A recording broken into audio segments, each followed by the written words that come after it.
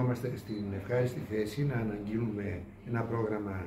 ε, ενίσχυσης των μικρών και πολύ μικρών επιχειρήσεων της ε, πόλης μας που βρίσκονται μέσα στην περιοχή της ε, βιώσιμης αστικής ανάπτυξης, του σχεδίου βιώσιμης αστικής ανάπτυξης.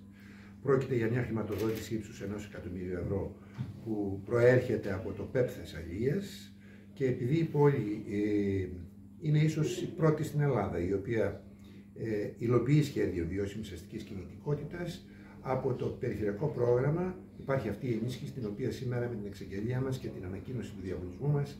υλοποιούμε. Πρόκειται λοιπόν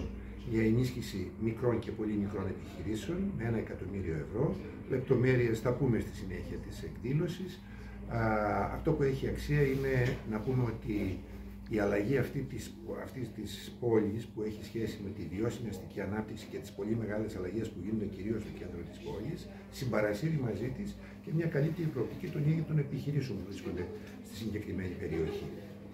Επιχειρήσεις οι οποίες πρέπει να αφήνουν ένα περιβαλλοντικό αποτύπωμα, να συνεργάζονται, να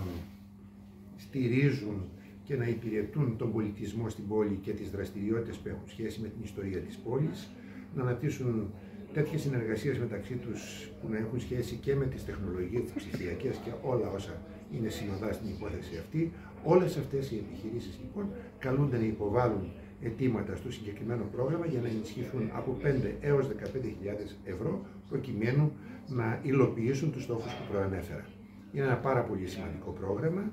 ε, το οποίο θα δώσει ανάσες βαθιές και θα βοηθήσει ουσιαστικά τις επιχειρήσεις του συγκεκριμένου χώρου και εδώ θέλω να ευχαριστήσω και τη συνεργασία, την, ε, για τη συνεργασία της περιφέρειας και για την συνεργασία των επιχειρήσεων. Έχουν μπει κριτήρια εξαιρετικά ενδιαφέροντα, τα οποία νομίζω ότι θα κάνουν τη διαφορά σε σχέση με άλλα προγράμματα τα οποία έχουν υπάρξει στην κατεύθυνση αυτή.